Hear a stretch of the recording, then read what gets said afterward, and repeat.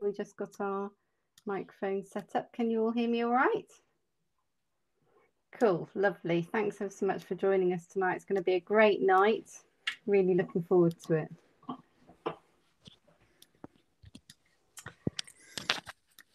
Hello, and you are listening to Head Teacher Chats live spaces. And tonight we've got an exciting topic to discuss uh, the launch of the renowned BBC's 500 Words Story Writing Competition, where we'll cover everything you need to know about participating.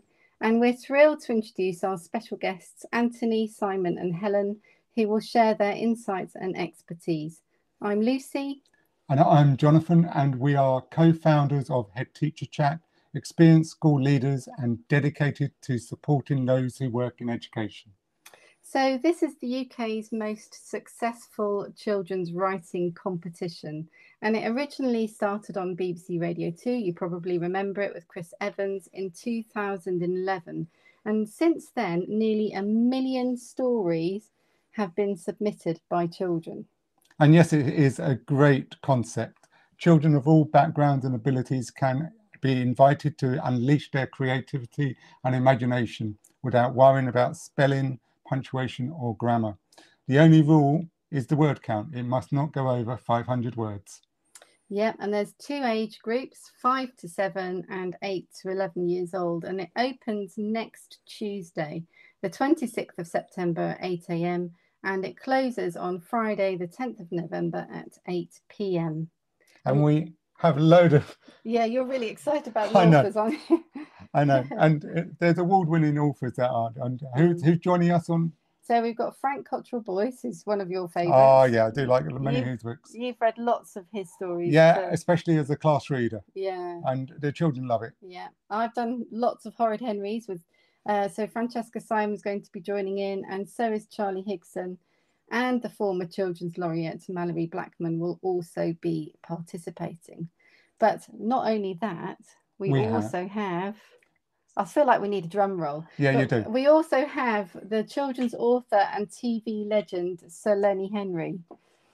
Yeah, and the prizes are fantastic as yeah. well.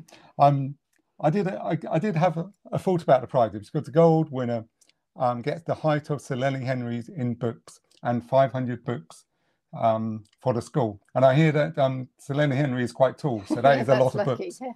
And two silver winners will receive the height of Her Royal Majesty Queen Camilla in books, and two bronze winners will receive the average height for a seven and 11 year old.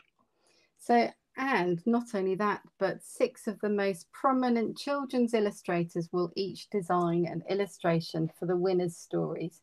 And these will be featured in the 500 Words Winners book. So, why are we so invested in this competition, you may ask?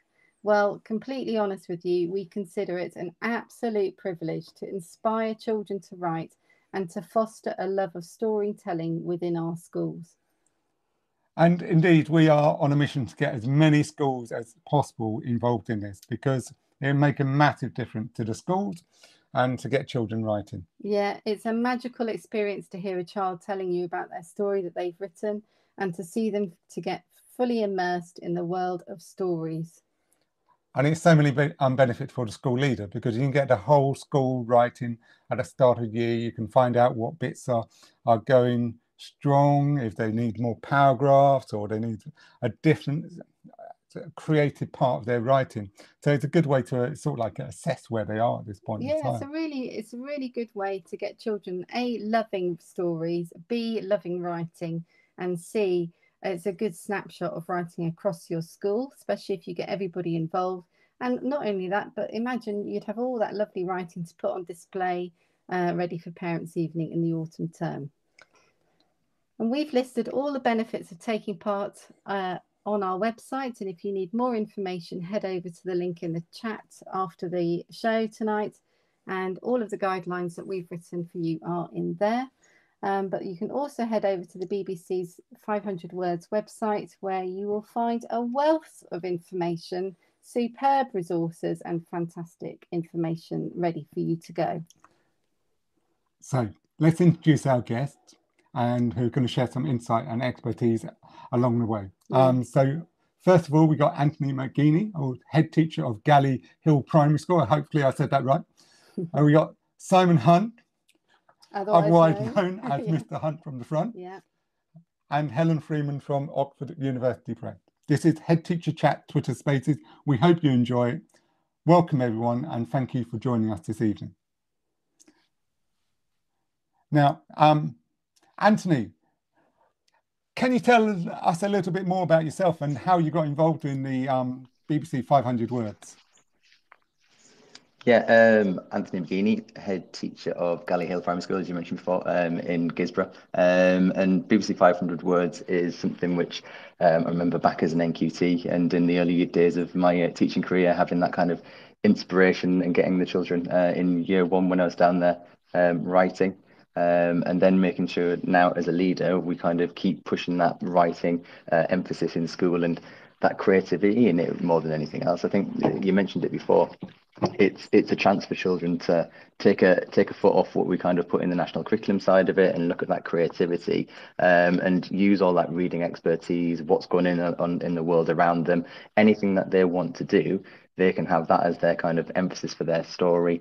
Um, and as a leader, it's making sure that we we give the children the opportunity for that, as well as having the, the staff have that kind of free reign, um, uh, because we know how important creativity is at the minute. It's one of those things where we talk about in terms of there's AI, there's all these other things out there, but how do we kind of foster that love of reading, of writing, of promoting creativity, of boosting their confidence?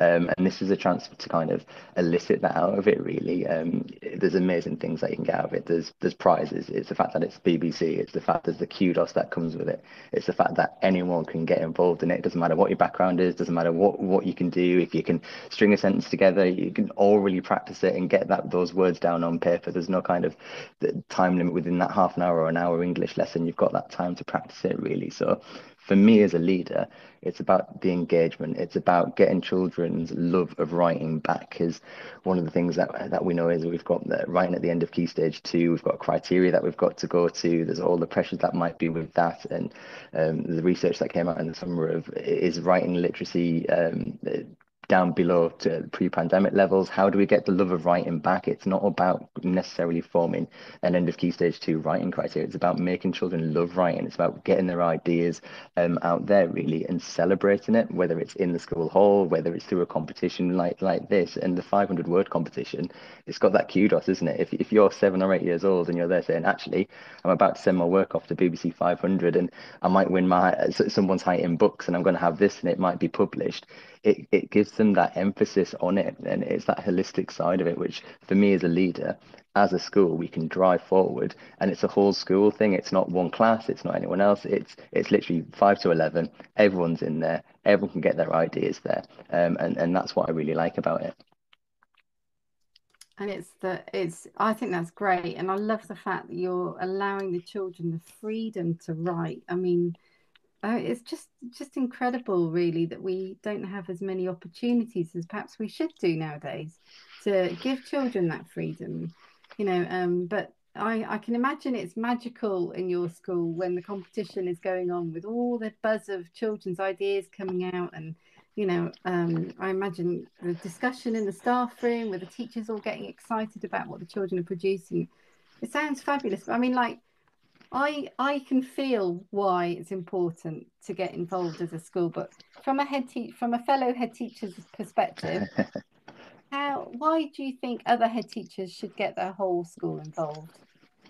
Uh, for me, it, it's that kind of buzz, isn't it? You get that buzz of writing at the beginning part of the year. You get that love of writing, and, and you're not having to battle against it. The fact that you've got all the resources there, and you don't have to worry about what it's going to be in terms of how you're going to resource it. How is everyone going to be doing those things? There's a live lesson to kickstart it all off, so you can create that buzz within that school. Get the whole school community together, and you know, as a leader, you've got them there. You've got that kind of awe and wonder, and you've got the fact that actually, you know, there's going to be some celebrity authors that are going to be looking at, at those bits of work whether you get through or whether you don't get through. It's not about that. It's about celebrating the whole process and doing it as a collective.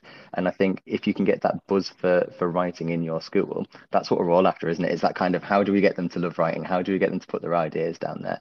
And this for me kickstarts that. So whether it's the character, whether it's the building the plot, whether it's the endings, whether it's that reading aloud to build their confidence, you get all of that from this 500 word competition. Um, and, and for me, that's what we're after. We're after children who can love who love writing into the reading, can ver- verbalize and talk about what it is that they're writing about, no matter what their background is. Doesn't matter, like you were saying before, Jonathan. Doesn't matter if they can string a sentence together or not. It's getting their love of writing because it's only going to improve, and that's the starting point. Absolutely. And um, what I mean, we do things as um, head teachers put in school. How do you make sure that it is fully embedded in the school? Because I mean, we do loads of things and initiatives, but how do you make sure it actually works? Have you got any top tips? Top tips. Yeah, I, I think it's it's putting it at the forefront, isn't it? It's whether it's celebration assemblies, it's it's how you get drive that thing. So for, for me, we're going to have that whole school assembly to kickstart it off. It's going to be in the newsletter, um, using prompts from um, other partners such as, such as like Pobble. How do we get those ideas there? How do we get those pictures, those stimuluses, so they can have those little bursts of writing, which might actually help them um, put put their ideas down uh, for whatever it is that they're going to be. So yeah, next Wednesday um, we'll be there for the live lesson. We'll all get into the hall. We'll kickstart it there. And for me as that leader, we drive it from the front. It, we get all the staff on board. We get all the children on board. We get all the parents on board, and we create that buzz. And I think the more you put it at the forefront of everything that you're doing, the, the better writing that you're going to get. You get that buzz from it, um, as as well as the community engagement and confidence from the children. Fabulous, Anthony. I mean, uh, I can imagine uh, just how fantastic it is in your school during the competition. It's, you know, there's nothing better, as we said before, than watching and listening to children writing and hearing them read what they've written and seeing their writing transform in front of you is is such a magical experience. And the fact that you've got your whole school involved, I think, is fantastic. So, well done to you, Anthony. It's fantastic to hear what you're up to. So um, now we have a birthday boy. Oh, we do. we do. Um, I won't sing this time. No, don't sing, Jonathan. yeah, yeah. Everyone so, will turn off. Yeah. Happy birthday, Simon. It's lovely to have you on the show. And uh, would you like to tell us what you've been up to? Because I know you've been super busy. Yes. Um. Hopefully you can hear me. Can you hear me? Okay. Perfect. Okay. Um, so yeah, it's it's my birthday, and like like you said, and it could have been any night, but I wanted it to be on my birthday just to show how dedicated I am to the cause of 500 words, because I wouldn't do anything else apart from talk about 500 words for the next half an hour. So my name is Mr. Hunt. That's my teacher name, my human name. So for the purposes of the rest of this uh, chat, we can use my human name, which is Simon. Um, some of the kids they might find this podcast that they're going to love finding out my human name. But um, so I got involved because basically because I believe in the 500 words. I've used it as a teacher over the past few years. Um, I've been genuinely gutted that it's not been on for the past couple of years because it's something I really look forward to. And the reason why I look forward to it is because I know my kids look forward to it, and that, that's what it's all about. And so I got involved, and the reason why I got involved is because a competition like this, for me, is that when I was in primary school, I struggled with spelling, struggled with grammar, and all that type, of, all that side of writing. But I loved writing. I had some fantastic ideas, and a competition like this would be just the right thing for me because I had all these amazing ideas. But I was always worried about using. Um, I don't want to use this word because I don't know how to spell it, so I'm going to stick to the really basic word. I'm going to use big instead of gigantuan or colossal because I'm because that's what I'm comfortable with. And something like this sort of it kind of it unchange it releases shackles a little bit and it just gets it gets creative and that's why I'm part of it. And because from my viewpoint um, you know I I'm going to teach this to my kids next week and we're doing as a whole school as well. And there may be one two three or four children in your class that maybe in the future in 10 20 30 years might become an author. And that might be because that create that that flame was um, lit in your classroom because you gave them the creativity you gave them the chance to just express themselves. And if one child does that of all these uh, thousands of children that enter this competition if one child becomes an author because of this or even just enjoys writing then i think it's really worth it.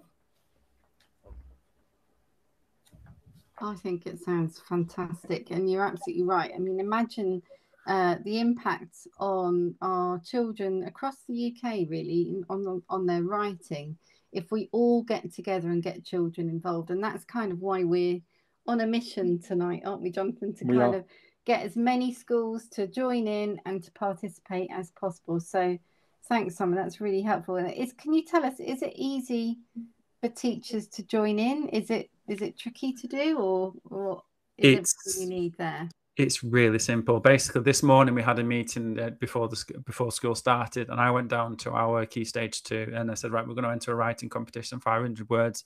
And obviously, at the start of the year, we're third week in, how much extra work is this going to take me? What extra stuff am I going? I'm still my display still not fully up in the back corner. I've got to laminate this thing. You've got all these little things. I still don't know everyone everyone's name in my class. You've got all these little things buzzing around. What's this extra thing?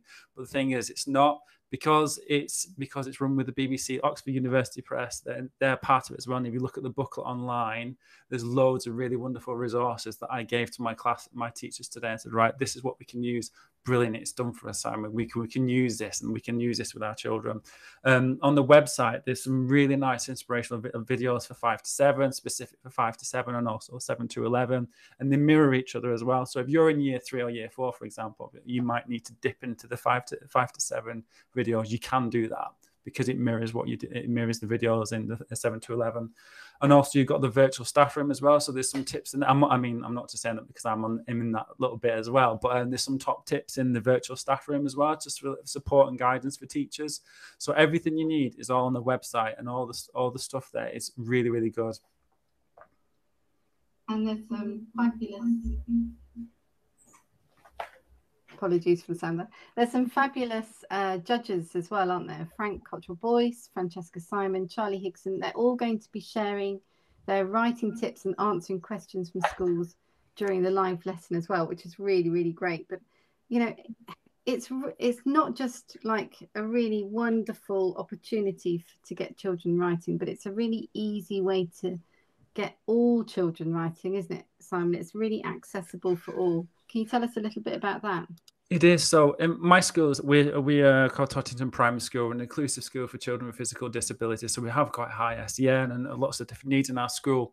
Um, but we do, we use things like um, assistive technology. Um, we we have children that maybe struggle with handwriting. So what we'll do is we'll, you know, we'll get them to dictate into an iPad or to a, a device. And then, so their ideas are still flowing. It's still their ideas. It still works. So we're kind of removing those barriers.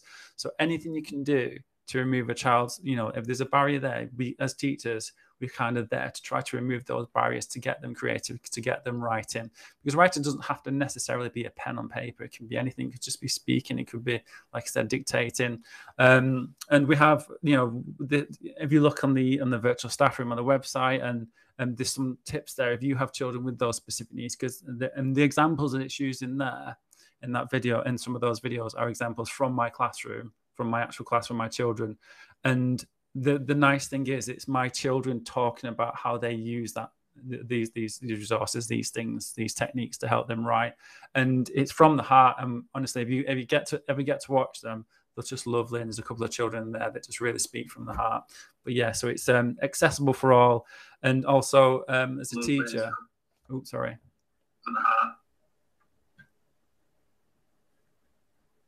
oh sorry I had a bit of feedback there and yeah sorry about that guys um, but yeah, so um, accessible for all, and just to it's we want to have as many children to get involved and to enter as possible, and that's what the 500 word competition does.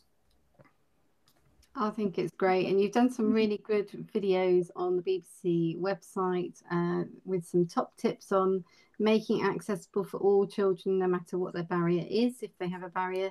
And uh, I love, you know, it's such a simple idea, but I really love your uh, dictate to iPad idea. I think it's such a powerful way of getting children to think of their story because often they've got their story in their head, but they can't get it down onto paper. So to get a child to dictate their story into an iPad, the iPad then types it live as they're talking. They can see the words in front of them and then they can write it and put put it in their writing. It's a really powerful idea, Simon. I, I'm, I really love that idea. So all those all those information, top tips for teachers. There's lots of resources on the BBC 500 Words website, um, and uh, you can have a look at Simon's videos there too. So thanks ever so much, Simon and Thank Anthony, you. for joining us, and happy birthday, Simon. But we've got the most amazing research to talk oh, about now, yeah. which will blow your minds away. I'm I'm so excited to talk about this because you know it's such a good idea. You know, a million stories. Yeah, and all those, that information, all the types of stories that they um, write in, what the key words, the key names that are used in it. I mean, and we're lucky to have Helen. We are very lucky to have Helen. to um, talk about what um, Oxford University Press have um, done with the research within it. Yeah, welcome, Helen. Thank you. Thanks for having me.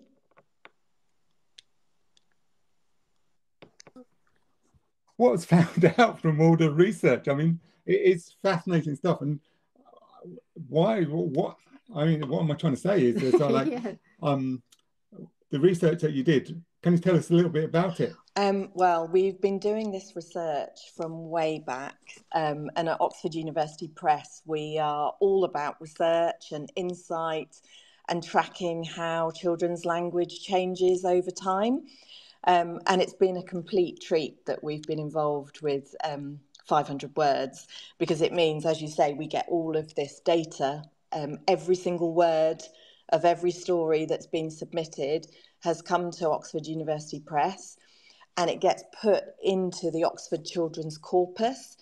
Um, many people don't know what a corpus is, but it's basically a huge electronic database of children's English language. It's the biggest in the world, uh, which is appropriate for Oxford University Press because we are also the biggest university press in the world. So we're all about doing things in a big way, and this is all about big data. So basically, what happens is we get all of the stories they're anonymised, so we don't know the children's names, but we do know the children's ages, and we also know the gender of the child submitting the stories. Um, and the reason we want that data, and also actually broadly geographical area um, where the children are writing. And the reason we want that sort of data is we can then do analysis to see if there are differences around the ways that boys and girls write, um, the things they write about. We can look at things that are trending by age or gender or where, where they live. Um, and I, I guess it's a blend of really serious things. So we're a university press. We create lots of um, reading and learning resources for children. So we're looking at technical aspects of writing, spelling, use of punctuation, but not for tests or assessments. We're looking because we're interested in learning how children use punctuation, how they spell. We can see regional differences in spelling, some you might expect and others not. Things like mam, mom, or mum. Um, we look at how language changes over time, and that's what's so wonderful about 500 words. We've been doing this analysis for coming up 10 years, and through that time, we can track uh, trends, we can look at how um, vocabulary changes and how children really make language their own. So there's lots of, of language analysis. We look at particular themes. Um, we can also see, and this touches on some of the things we've already talked about, that um, when children are invited to write a story, not for an assessment or an exam or any kind of test, but for the sheer love of writing, all the guards come off and they're completely brave around wordplay. They do all sorts of crazy sort of mashups. They play with their writing style. You can see influences in genre. So lots of influences, maybe from things like fairy tale, um, characters that they've come across. So it's it's a great way for children to play with language, play with the idea of story and genre. So there are some serious things that children can really flex in their writing skills. Um, and then we can also see just wonderful, insightful things about what are children thinking about? How do they engage with the world around them? We've seen technology come and go. So, children some years back wrote about Blackberries. Does anyone remember Blackberries? And now everyone's talking about their mobiles and their iPhones. And so, um, you can see technology trends come and go.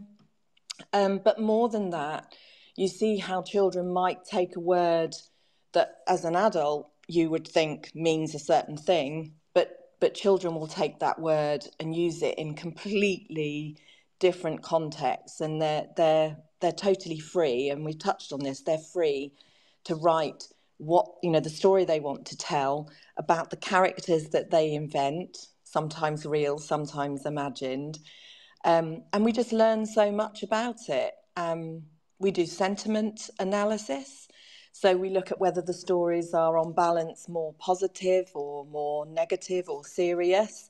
And the nice thing is this, it always comes down on the happy and positive side, which is lovely.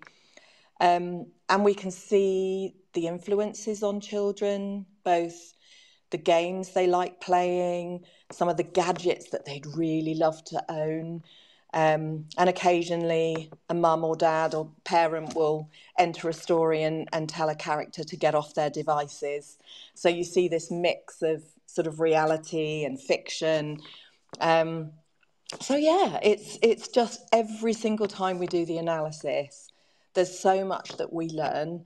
There are always surprises, and there are some things that every every time we've done the analysis, we're eager to find out is it going to be different this time? And one of the things that I particularly love is every single year that we've done the 500 word story analysis, Santa and Cinderella have always been the top fictional or mythological characters. And um, Lucy and Jack, whoever they may be, have always been um, the top named boy girl characters um, in children's stories that they make up, regardless of what names are trending or celebrity influences there are. They, it's always been the same. Jack and Lucy are our top girl boy characters in the stories that children write. Well, yeah, you were quite glad about I, that. I'm very pleased about the late Lucy. I think it's the best names, choose. But Helen, I mean, I was reading the uh, most recent report that you did about, well, the Oxford University Press did about uh, the findings, and I loved the unusual story starters. Um, one uh, young lady who was nine years old wrote, I found myself on a beach. I must have got washed up here. I don't remember anything before now. All I know is that I am here and I am alive. I mean, I mean, it's just like you can feel how, in you know, how excited they are about their writing and how invested they are in, um, um, in it. And then there was another one that was um, an invented creature, which was uh, written by another young lady who was also nine years old, and she invented her creature and she called it a socktopus, and it was a creature that eats socks. And I thought, Brilliant, you know, it's just lovely. It's that's the magic of children's writing, and and that's what we kind of want to get across to schools. You know, we want as many of you to join in with the competition as we can. Imagine the impact across the UK if we get all our children loving writing um, between now and November for this competition, which would be great. So, Helen, how do our schools take part in your research? How do they do that? Um, so, the really lovely thing is that every single story, when it's submitted to the BBC as part of the 500 words competition, within the entry terms and conditions, it automatically submits every story, albeit anonymised. So we don't ever get any of the details of, of the individual children, just just gender and age, so that that helps us with our analysis. So we receive a big bundle of data, which is the stories, and then that goes into um, our Oxford Children's Corpus. We then conduct the analysis, and ahead of the competition, we will share our analysis, um, which will unpack the many twists and turns, um, the characters. We'll find out if Santa and Cinderella and Jack and Lucy till, still occupy the top slot. Um, and we'll, we conduct all sorts of analysis, look at what's, what's trending, um, and we tease out all of those um, pieces of analysis, some of them technical and really informative. And I'd imagine any teacher and school leader would be fascinated by that type of insight but equally it's the the way we unpack the research and the analysis we do it in a way that it's really shareable and digestible it's the sort of thing that within a school, you could easily share that insight with the children themselves so that they can find out how their story has added to this really important piece of research. Um, so even if they don't win a prize in the big 500 words competition, their story has still counted. It's added to this really important um, body of evidence and research that is long lasting and has an impact. So, you know, talk about a great thing for a child to know that what they've written is important and that someone's read it and analysed it and cares what they've written, even if perhaps they don't necessarily win Lenny Henry's height in books. That's great. And and uh, so how so imagine we've all entered the competition. How would our listeners find out the results of this year's entries? So, in terms of the competition, that all culminates in the, the BBC 500 Words final. In terms of the analysis itself, um, we put together a report. It's really digestible. It's not some heavy tome that is technical and and um, hard work to wade through. It's to- it's gri- it's a gripping read. We like to think. Um, we put it into this lovely research, um, into a report. We make that available anywhere and everywhere. It's completely free. Loads of insight. We'll put it on the Oxford University Press website. We can share it with, with your listeners. We'll put it on the BBC website. Um, it's just so fascinating and it's got lots of surprising facts and data. Anyone that's interested in data will love reading this. There's so many nice things to learn about the ways that children invent characters, write stories, and, and use their language for self expression. So we can share that as and when it's released, and you can share it on far and wide within your school, you know, within schools, and share. I'd really say, I'd encourage you to share it with children because it's so fascinating knowing what are all the other children that entered 500 words writing about how are they using words and language? Um, and I think that's a great thing to do within a school community. Um, it's a great motivator to write more stories and think maybe you'll enter again next year. That's fabulous. Thank you so much, Helen. That's really, really helpful to hear uh, your fantastic work that you're doing uh, to inspire children with their writing and also to let school leaders know what children are thinking of. It's such an important thing, isn't it? It definitely is. So um, thank you, Simon, Anthony, and Helen for sharing your insights and expertise there. Um, we created a guide. We have. And and uh, we'll share the link on how to uh, access that after this Spaces session um, because we want as many of you as possible to join in um, we've created a guide from a school leader's perspective so that you can find out how to get your whole school involved. Um, and we'll put that link across at the end of the show. And if you want your school to be involved, all you have to do is go to the BBC 500 Words website, where you find a lot of information, resources, and tips and tricks to get you started. And you can even tune in to the live lesson on Wednesday, the 27th of September at 11 o'clock. Uh, thank you for joining us this evening. We hope you found this session helpful. If you have any questions, reach out via um, direct message and we're happy to assist. This Spaces session was brought to you by Head Teacher Chats. Tune in to next week's Spaces session at 7.30 on Tuesday as we discuss the recent rise in behaviour issues in schools and what can be done about it. And here is our quote of the day to end this session by Eoin Colfer. Writing is like magic. If you write well, you can make people see things that aren't there. So thank you for joining us and thank you for our guest. Yeah, thanks everybody. Have a lovely evening and see you next week.